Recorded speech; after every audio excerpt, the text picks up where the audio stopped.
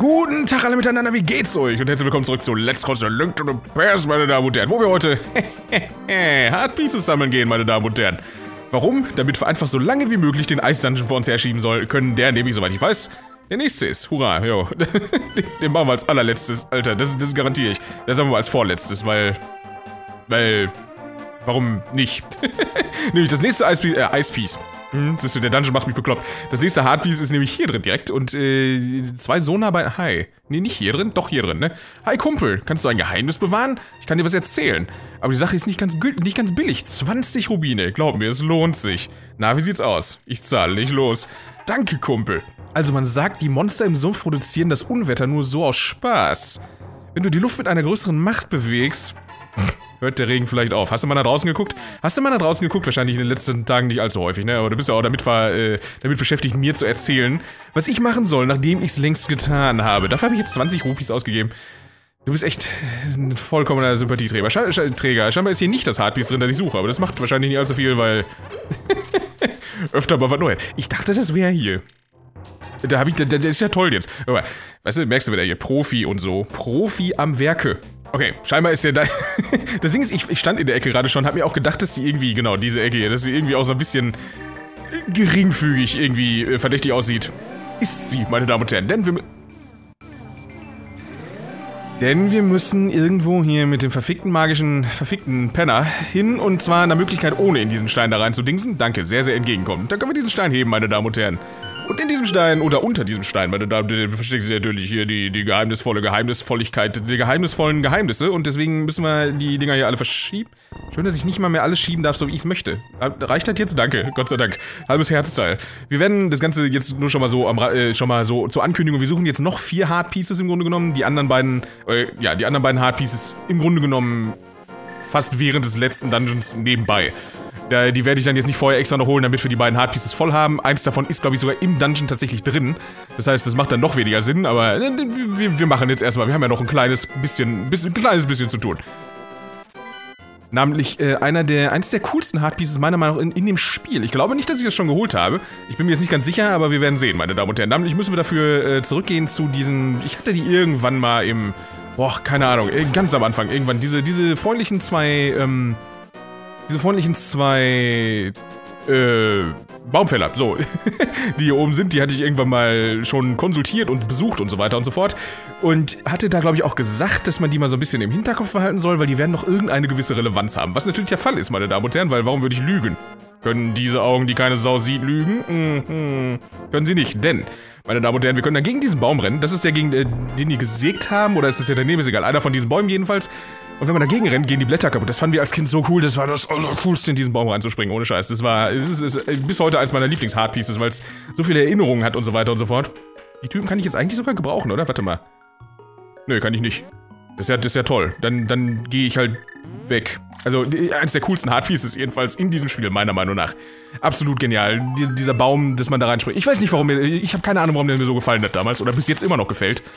Wahrscheinlich, weil ich es als Kind damals entdeckt habe und total stolz war. Aber ohne Scheiß, das sind so die Gründe, aus denen dieses Spiel so absolut genial ist und immer bleiben wird.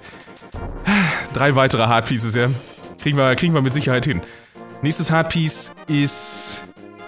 Ich glaube, dass das... Moment, Moment, Moment. Ich glaube, dass das hier oben drauf ist in der Dark World. Moment. Ja, ja, und zwar ist das, glaube ich, und zwar müssen wir jetzt irgendwie in die Dark World rein. Das können wir ja hier im Dorf machen. Das wäre ja relativ sinnvoll. Und da kommen wir zu dieser Stelle da zurück. Das ist so cool, dadurch, dass man mittlerweile diese ganzen Items hat und so weiter und überall durchgehen kann und die Karte mittlerweile auch halbwegs im Kopf hat und so, ist das Reisen in diesem Spiel, Reisen in diesem Spiel wirklich mittlerweile sehr, sehr angenehm geworden, weil, keine Ahnung, der Weg jetzt hierhin zurück ist so kurz, normalerweise, keine Ahnung, als ich das erste Mal in das Dorf wollte, musste ich einmal durch den Wald und den ganzen Scheiß. Das muss ich jetzt mittlerweile aber alles nicht mehr machen, weil ich mittlerweile Möglichkeiten habe, diesen Stein hier zum Beispiel hochzuheben. Das, das ist so cool, die, dass die dann in dieses Spiel durch diese Item-Progression Abkürzungen eingebaut haben und so wo man sich dann später irgendwann mal drüber freut, so wie ich jetzt. Also, es ist, es ist ohne Scheiß, so cool. Das ist Game Design à la Bonheur, meine Damen und Herren. Äh, keine Ahnung. Das war, war eine schöne Zeit damals, aber was Game Design angeht, werden wir, wenn das hier vorbei ist, übrigens noch ein sehr, sehr cooles Spiel spielen. Ich weiß nicht, für, für die Leute, die mein Super Metroid ähm, Let's Krutz damals schon gesehen haben, sorry, brach, aber das Spiel, da mir die Qualität dieser Videos überhaupt nicht gefällt, so retrospektiv, keine Ahnung, falls irgendwer diese Videos noch nie gesehen hat, gerne einmal das erste Video gucken. von der reinen Qualität her vergleichen mit diesen Videos hier und dann, dann wisst ihr Bescheid, was ich damit meine. Ähm, deswegen werden wir hier nach Let's, äh, werden wir hier nach äh, Dingenskirchen, äh, Super Metroid rekrutzen, meine Damen und Herren. Das ist ein Announcement. Hurra, ist ja nicht toll. Hätte ich das jetzt in einem eigenen Video machen müssen?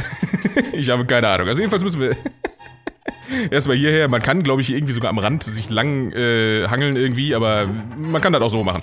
Und dann kommen wir an diesen Block an und dafür braucht man diesen, ich weiß nicht, ob es ist, ist durchaus möglich, dass das der einzige Sinn ist, den dieser Vorhang tatsächlich, äh, Umhang, Vorhang, tatsächlich hat. Nämlich, dass wir dann da durchgehen können und dann dieses Hardpiece bekommen, was unser, unseren Herzcontainer voll macht. Wir, uns fehlen nur noch drei Stück. Uns fehlt noch eins durch ähm, die letzten vier Hardpieces. Und danach fehlen noch zwei durch die letzten beiden Dungeon. Nicht drei, wie ich beim letzten oder vorletzten Video irgendwann mal fälschlicherweise behauptet habe. Es gibt tatsächlich noch einen Dungeon zusätzlich danach. Natürlich gibt es noch einen finalen Dungeon, klar. Aber der hat kein, kein Hardpiece. Ich war mir da nicht mehr ganz sicher, aber dem ist nicht so, meine Damen und Herren.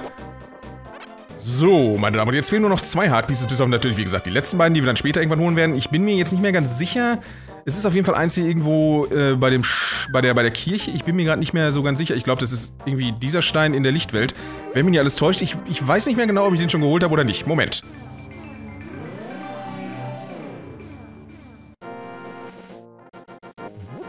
Scheinbar ist es nicht dieser Stein. Ha, ich weiß schon, was ich hier mache. Ach, hier, der, der Stein war es wahrscheinlich. Dann, das sieht schon sehr stark danach aus, als hätte ich dieses Ding schon geholt. Okay, ja. traurig, traurig. Okay, damit bleiben dann aber tatsächlich nur noch zwei über. Kleinen Moment. Jetzt ich das immer mit meinem kleinen Moment, wenn ich sowieso rausschneide, aber egal. Okay, und zwar ist eins davon auf Death Mountain, meine Damen und Herren. Heißt das in der Welt überhaupt Death Mountain? Ich habe keine Ahnung. Ähm, eins ist darauf, das habe ich nicht mitgenommen, weil das sind, wenn ihr euch erinnert, bei dieser einen großen Treppe, die da nach oben führt, eine, eine Treppe führt da ganz, ganz steil nach oben, meine Damen und Herren. Ähm, da sind dann unten drunter diese ganzen das Ding trifft mich, obwohl ich da mit einem Schwert reingerannt bin. Das ist nicht sonderlich cool, Alter, aber ist egal. Äh, da sind dann diese ganzen, diese ganzen Vorsprünge, von denen man runterspringen kann. Und an einem dieser Vorsprünge ist dann noch eine Höhle. Vielleicht sind auch mehrere Höhlen, aber eine, hat, eine von diesen Höhlen hat jedenfalls ein Hardpiece, meine Damen und Herren. Ich weiß bis heute nicht genau, welcher von diesen Vorsprüngen das ist, aber wir werden schon rausfinden, Alter. Ein, einer von denen jedenfalls. Und dann, dann fehlt nur noch einer, der dann im Prinzip schon fast in der, in der Ecke ist, wo wir als nächstes zu unserem Ice-Dungeon gehen wollen, den ich, äh, sowas von bereuen werde. Keine Ahnung, welche von diesen Türen das ist. Warte mal. Ähm. Ist es hier runter? Wahrscheinlich nicht.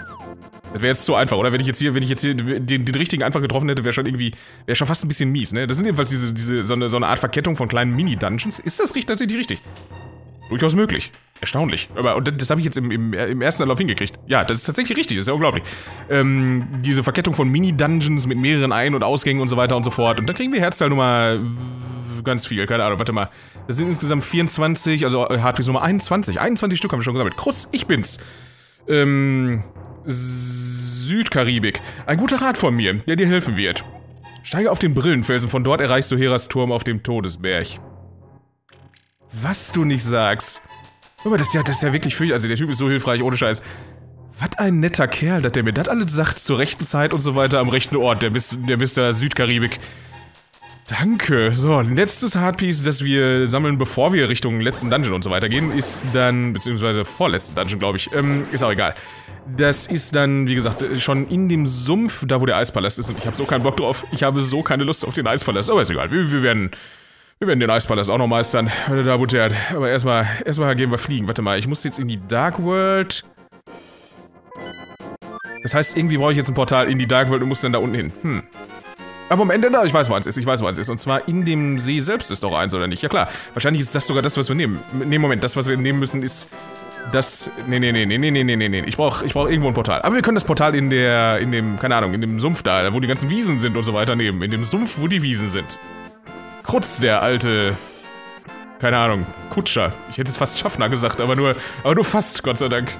Das hier ist übrigens das Hardpiece, das wir jetzt suchen. Dafür müssen wir allerdings erst in die Dark World und von der Dark World dann irgendwie mit äh, dem Dingsbums, mit dem lustigen, äh, hier, Schnifty Schnuffhausen, ähm, Dingenskirchen, Mann, Spiegel. So, müssen wir dann wieder zurück in die, in die, in die Light World jedenfalls. Aber dafür müssen wir erstmal in die Dark World. Und zwar, ich glaube, das nächste Portal ist im Prinzip das hier vorne in diesem, wie auch immer man diese Gegend hier nennt. Keine Ahnung, Grassland, meine Damen und Herren. Äh, so nicht anders. Äh, Green Grass Dingsbums aus aus Sonic ist das offiziell, klar. Äh, wie, wie heißt das nochmal? Keine Ahnung. Irgendwann mit Greens, wie dem auch sei.